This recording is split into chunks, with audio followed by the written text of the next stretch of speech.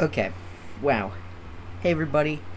This is uh this is the third review in the review series. Today I actually got some footage to uh place over top of me talking. I hope you enjoy my uh Fortnite gameplay. I'm not very good at the game. Though I'm high level. Uh uh but hey everyone. It's me, Benpchan Gaming we're here with a not gaming video. We're here with the third review in the review series.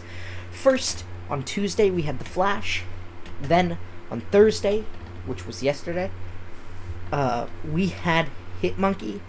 And then, third, and finally, today, Friday, we have Arcane. So, let me get into this. So, first, uh, I was watching The Flash for a couple weeks, and then I finished it. Then I had really nothing to watch. But then I realized Hitmonkey came out. So then I started watching Hitmonkey. I was like, huh, this is pretty good. 25 epi- 25 minute episodes, and there was only 10 episodes. There wasn't actually that much to watch. Then I moved on to Titan Season 3, because I watched the first two seasons before, and I wanted to just finish. It's an awful show. Didn't want to talk about that one, though, because that one's much more mature rated than the other two shows that I watched, where Hitmonkey should really be TV 14 because there's actually not too much that bad things. Then Arcane was TV 14, and then of course The Flash was PG. So here we are. the third thing was Arcane. I wasn't actually really expecting for me to watch this, as I never played League of Legends, never got into it. I played Pokemon Unite, which was supposed to be worse League of Legends than I played League of Legends. and I was like, Pokemon Unite is 10 times better, but that's just my opinion. Uh, either way. So, here we are. I'm ready to talk about it. Oh my gosh, this show was freaking amazing this show was so good. And I don't know why. But I wanted I want this review to be still fair and I'll still talk about the things I didn't like about the show.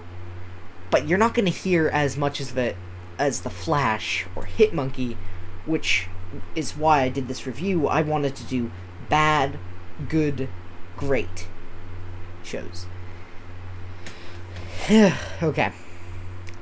B- bad was the Flash. We the seasons got sillier and sillier. The plot wasn't good. They had lots of plot holes like why don't you just punch the bad guy in the face instead of, you know, being an imbecile or why does your costume look so freaking dumb in season 5? I don't know. But yeah, that that's that's really truly what all I can really say about the Flash after watching all eight seasons. I'm gonna watch season nine when it comes out, and same thing for Hitmonkey. When season two comes out, I'm gonna watch it.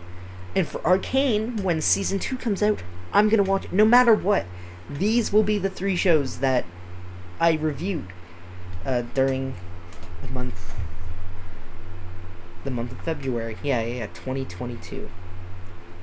Okay, let's get into Arcane. Arcane was a really big surprise to me. I was recommended by the Real Blackout to watch it, and I didn't really feel like I needed to. I didn't play League of Legends. I didn't really need to know any lore of League of Legends. I was hearing around it's pretty good from a bunch of different YouTubers, Gigguk, you know, uh, Pen- Penguin Zero, Most Critical, you know. I heard it was good from those two, and I was like, huh. Maybe I should watch it. Then I really felt like I was drawn towards it. From just watching a bit of YouTube, the animation looked amazing. And that's the first thing we're going to get into. The animation wow, okay, they did really good here. I really, really like the animation. The fight scenes animation were great. I really like when they showed, uh, like spoiler here, uh, when they showed when punching they broke the bone like in freaking uh, Mortal Kombat. Like, enough with the spoilers though. Truly, this show was really, really, really good. It was a top notch show, as a matter of fact. I would say this is one of the best shows I've watched in all of 2021 to 2022. And there was a lot of shows. But I think what really made this show great wasn't just the animation. The animation was, oh, it was amazing you also have to account for, uh, you know, count all the other elements that brought it together. Together, okay? So uh, I'm gonna, we're gonna talk about all the elements here. Element number frickin' one. Okay, element number one. Sorry, number two. We already talked about element number one. That was visuals, you know, animation the music. Gosh dang. The music was so great. It was perfect. They had mute they had the perfect music. And I watch things with subtitles because I can't watch things without subtitles. But they I don't know if these songs have been released, but I just want them on a music playlist while I'm playing video games. That they were called like epic music or you know, and they sounded perfect for the scenes. They were absolutely great.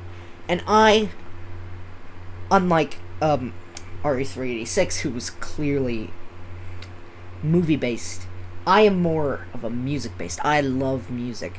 I have made my own song with Armon, you know, the outro song. So I love just hearing music, and oh my gosh, this music was perfect.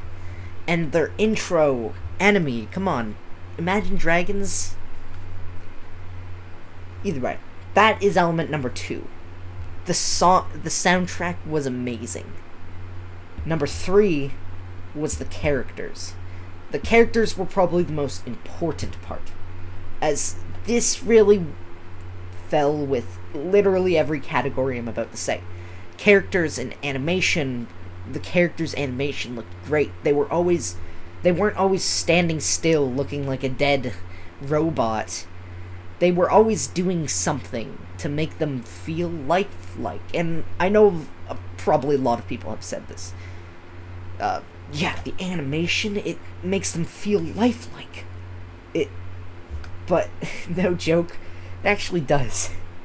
They did such a great job uh, with characters. All the characters were great. I can say I didn't dislike a single character that had at least two minutes of screen time. Just kidding. Two minutes is too little. Five minutes, I'm gonna say. Five minutes of screen time. I did not dislike a single character. They had great animation. They had great story. They had great movement. And it just fit well with what this show was going for. I've again, I've never played League of Legends, but I did know that all these the main characters were from League of Legends.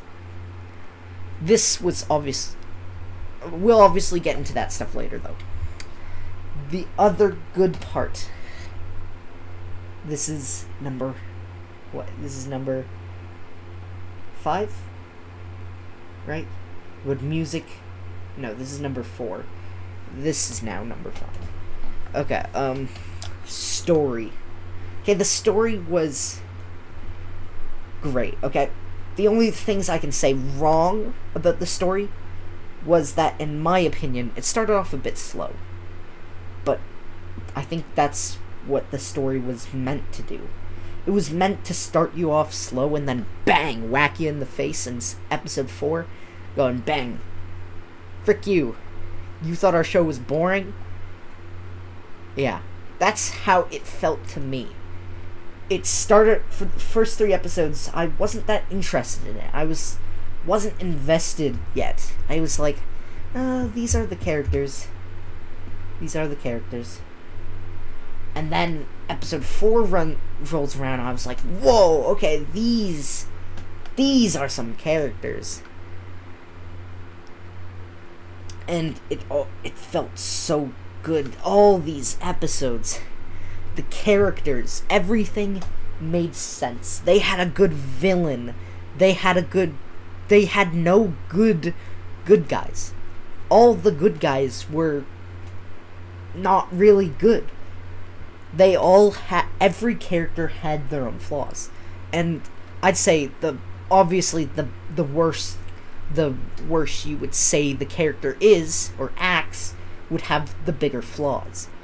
But honestly, it never felt like that. It felt like the bat the worse the character was, it had just one flaw that stuck out. You know? Like per se a main villain would usually have the flaw of oh, well, yeah, he's trying to kill everyone. The main sort of villain here had that flaw, but he also was trying something, you know? He was trying, like, in his mind, I can understand he's the good guy here. And if I was in his shoes, he for sure thinks he's the good guy. That that's all the characters. They all think they're the good person I I just think that was impeccable. It was perfect. Perfect story. I just really want to talk about this show. I'm sorry. Okay. Now I'm going to get into some flaws and then I might get into a spoiler section. Maybe probably not though. I'm trying not to spoil because I actually want my good friend Armazon and other people to watch this show, so I won't spoil it. Okay. The flaws of the show. There wasn't actually that many, that much flaws, you know? The music was great. Characters were great. Story was great. What could really tick me off? What could really be the only thing that I dislike? League of Legends. Yep, I'm gonna say it here. I'm gonna say it now. League of Legends is the one thing that makes this show worse. I can say right here, right now, if you've seen, if you see a character in League of Legends and see them in the show, it feels like, I, I mean, you can say this is a spoiler, but it really isn't. They you I just feel like they can't die cuz Arcane is a prequel. So all the characters that are already in League of Legends have no really threat to them. They can get injured, yeah. They per se like one of them can break their arms. This isn't a spoiler. I'm not saying they break their arm or they don't break their arm. This is not a spoiler. This is an example. If a character breaks their arms in this, it can heal.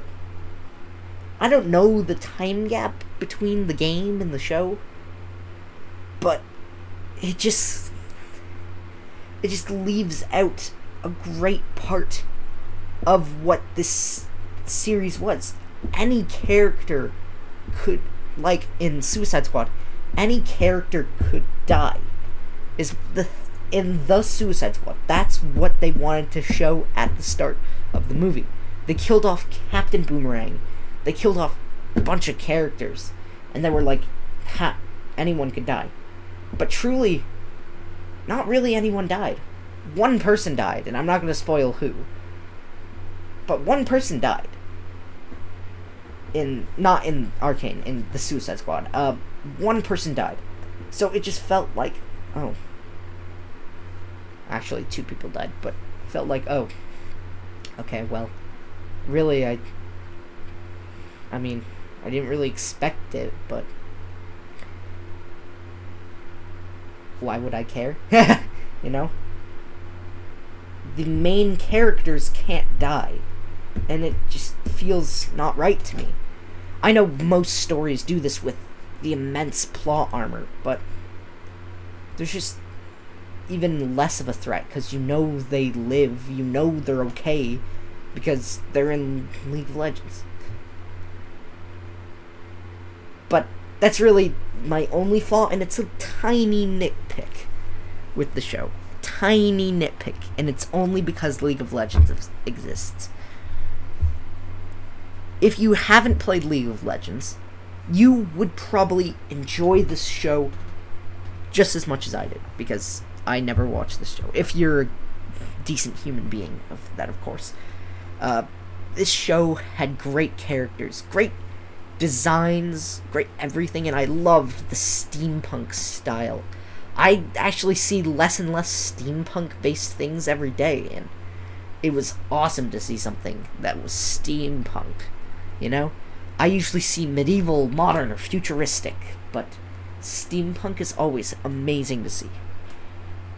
But that really concludes my review, and I still have a lot of footage left of Fortnite. If you guys want to see more of this footage in the future, I can post it as its own solo video, or I can record an actual video with other people, not just Alex here.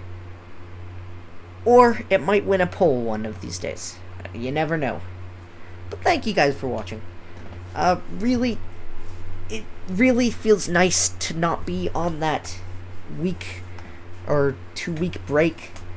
Um, there should be more videos coming out in the future. My good friend, the real Blackout, was is editing his own content currently, but he'll he said he would start Pokemon uh, Legend Arceus soon. So uh, yeah, I hope you guys enjoy that series. Uh, I've enjoyed making it, except for the constant crashing of my capture card. That was quite irritating. But here we are. I took a long, long, long break off of content to, you know, just do things that I enjoy. I know that must suck for you guys because you guys don't get to watch my content. And that must suck because that means I'm going to do three review videos in one singular week. But, you know, uh, and I know I'm late for all of these things, except for Hitmonkey. For you Canadians, it's not too late because it's only been like less than a month since it's actually come out. But Arcane and The Flash, I know I'm late to the party, but next time I won't be late. I like binge watching. I literally finished Arcane in a singular day. That I calculated it. That was nine hours. It was really sad. But it was such a good show.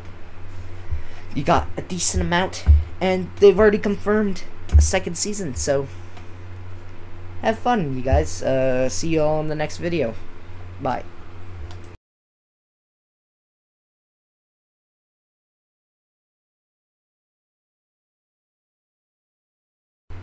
I'm just breaking this little bit of silence with my recording. I just wanted to show a bit more gameplay. Bye.